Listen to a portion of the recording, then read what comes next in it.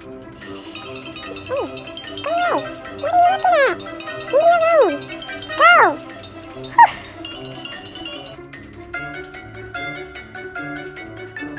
Barney's home. Okay, is she still there? I can come out. Is she still there? Is she still there? Let me look. Is she? Is she? Is she?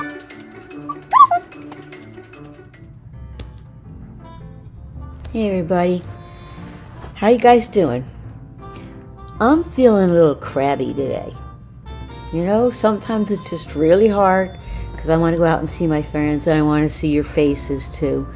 Um, and some days you're just not feeling that great about that you can't, but other days are great. So some days are good, some days are bad.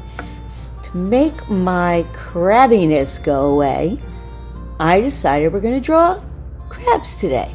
All right, so um, showed you a quick little video, and I'm going to show you another one because I have an idea in my head what a certain kind of crab looks like. But do you know there's zillions of different crabs? Some are this big, some are gigantic. You'll see. Some of them are really big. They don't live around here, so don't worry about that. But they are pretty cool. Some of them are really colorful, some are fuzzy, kind of neat. So, what I'm going to do is I'll show you a few pictures, but then the crab that I picked is kind of a regular crab, but when you want to color it, you can think about all the crabs I showed you and design it any way you want. And um, we'll get right at it. Don't be so crabby. All right, this is the Tasmanian giant crab. I'd like to meet him with a cup of hot butter and gobble him up. Oh my, look at this coconut crab. I think he thinks the trash can is his shell. Crab. This is a guard crab. His job is to hang out inside coral and make sure no fish go in there. Look at him crossing his hands and those mean eyes. Ooh, vampire crab. This is the hairy bear crab. Funny. And this is a Japanese spider crab. Huge. The yeti crab. And then we have the candy crab. Looks kind of like cotton candy. The rainbow swimming crab. It was actually one of the meanest crabs. And this is the Palawan purple crab. The cool thing about him is he was only discovered four years ago in Polynesia, so he's a brand new species. We're going to make our crab. Now, I am sending this along for grown-ups if you want. You don't really need to print it out, but this kind of gives us a step-by-step of how to do it. So I'll be following this so you can um, look at this on the computer if you want, or you can watch me. But you'll see right here, these are the first lines, these two little eyes, and then this is going to be our next line. So for the eyes, they're very tiny to start with, and they're kind of right in the middle of the paper, but closer to the bottom. And this is about a finger up from me. Um, parents, it's about three inches if you want to eyeball it. But I'm just going to make a dot right here. And then, since my finger was there, that's a good space before I make the next dot. Here, eyeballs and then I circle around to make the actual eyes. Now, like you saw, there's a lot of different kinds of crabs, so you can draw a fancier one than we are drawing. Now, the front of the, the shell kind of looks like a smile that goes through the eyes. I mean, not all the way through. You put your line down here, go through over, a little line there, go over and go up. I'll show you how to do it with my Sharpie, but then you should try it with your finger first. All right, it's going to look like a smile. So it's going to go down like this, jump over the eye, go to the next eye, jump over the eye, and go on up. So it looks like a very weird, smiling whatever. Okay? Right now it doesn't look like a crab. Then we're going to do this piece right here. Don't worry about trying to make it perfect. The crab shell is totally not perfect. So with your fingers, start on this one and go up the hill and down the hill and connect. All right? Remember, fingers help you really know what you want to do and keeps you from making something you're not happy with. There. Not perfect, see? Just like I told you. All right, so now we're going to do all his legs or arms. They're called pincers. They look like pinchers. They can pinch, but they call them pincers. Now, let's count. One, two, three, four, five. One, two, three, four, five. Five plus five is ten. So he's got ten legs. And you can see they're not straight legs. Each one, they're like little knuckles. And that's how he can move all around. All right, so we're going to start with these two. So right on either side of the eye, we're going to make a little rounded oval. I'm going to, for the front two, I'm going to do it as I go. With one side, I'm going to go to the other side and do kind of the same thing. So again, with your fingers, one, two, three. He's got that, and then he's got the big one. Looks kind of like a moon. All right. One, two, three. One, two,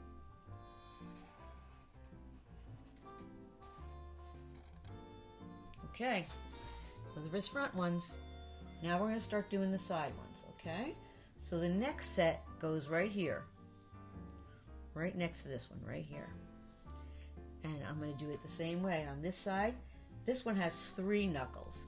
So it's going to go one, two, and a big, they almost look like moons, right?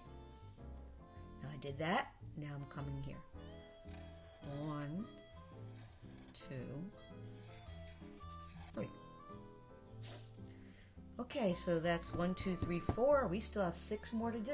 All right, now the next one's going to go right where that smile, the front meets the back. And this one's going to actually have four.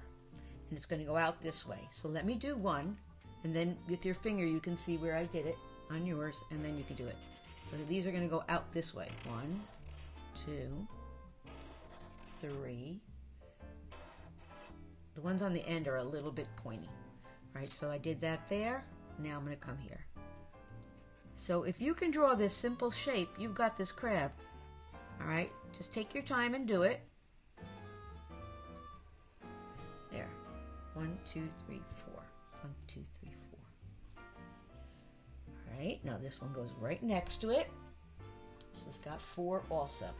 Right, so again, if you can make this shape, you're in good shape. You know what you're doing. Each shape is going to be a little bit different. There's lots of wobbly pieces to crabs. That one? No, that one. All right, you see it's going out this way.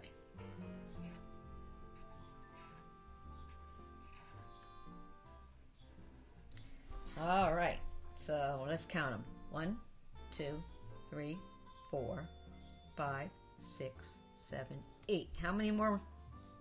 You guys know? Two more.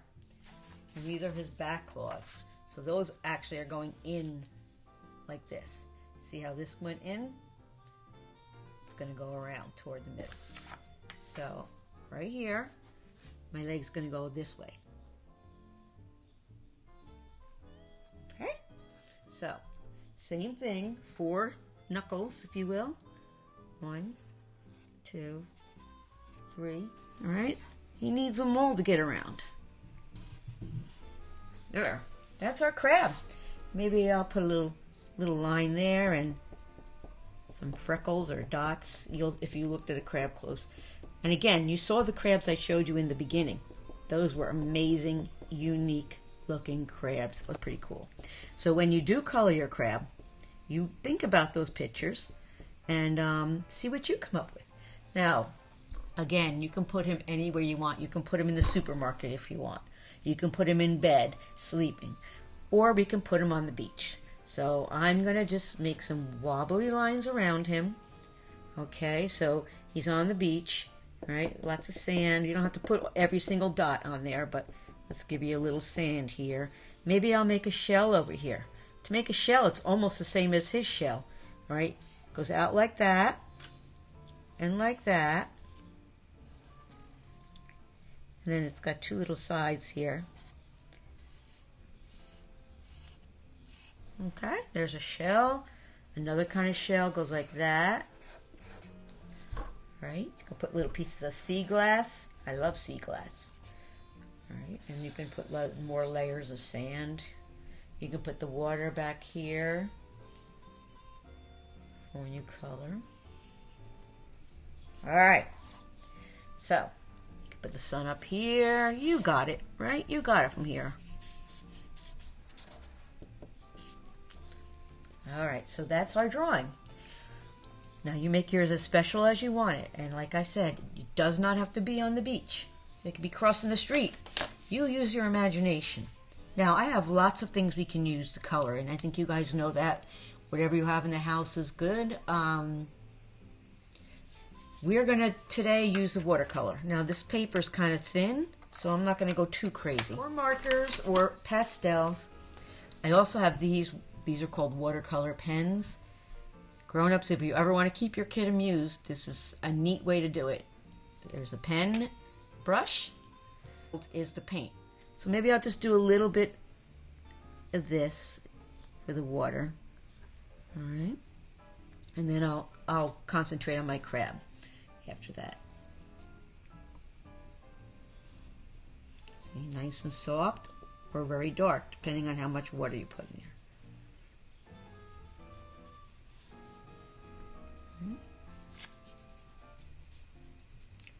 Remember those lines. Best way not to go out of the lines is to draw around them first. See?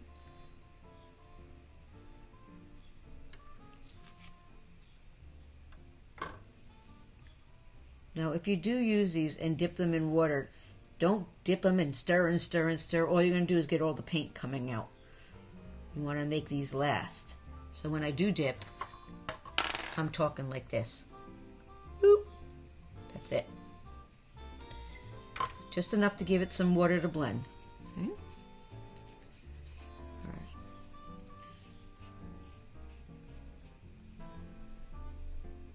All right, so that's one way of doing it. We also can use color pencils. Remember? Um, let's see, what do I have here? I'll just use red since that's what I have close by. Now remember, what do you do first? I know it probably gets boring to do it this way, but that's what you're going to get the best kind of result from. Outlining first. Now he does not have to be just one color. He does not have to be a normal color. You saw all those crabs.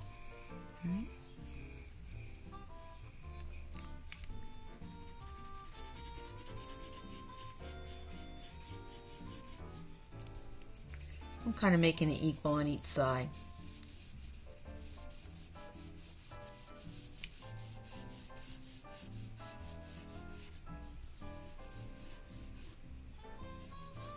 So I'm going to just go back and forth with what I have here.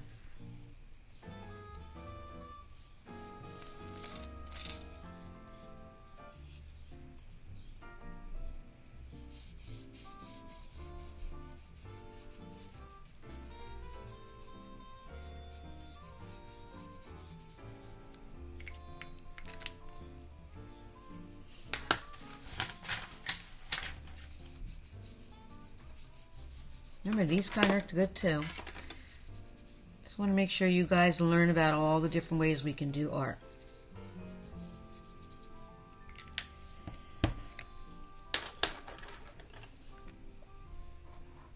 Outline first, remember? And then color.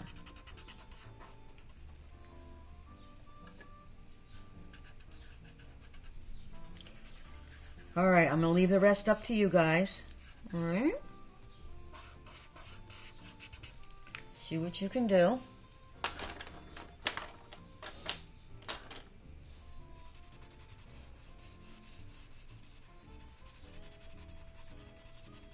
A little bit of shading. Some of you know how to do that. Now, you can put anything you want in your background. I told you that.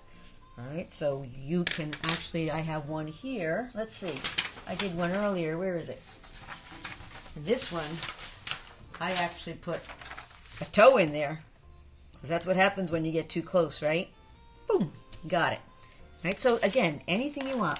I love the imagination that you use. All right, up to you now. Let's see what you can do. Remember those pictures that I showed you in the beginning because they're going to give you lots of great ideas to be so creative. All right? See you in a minute.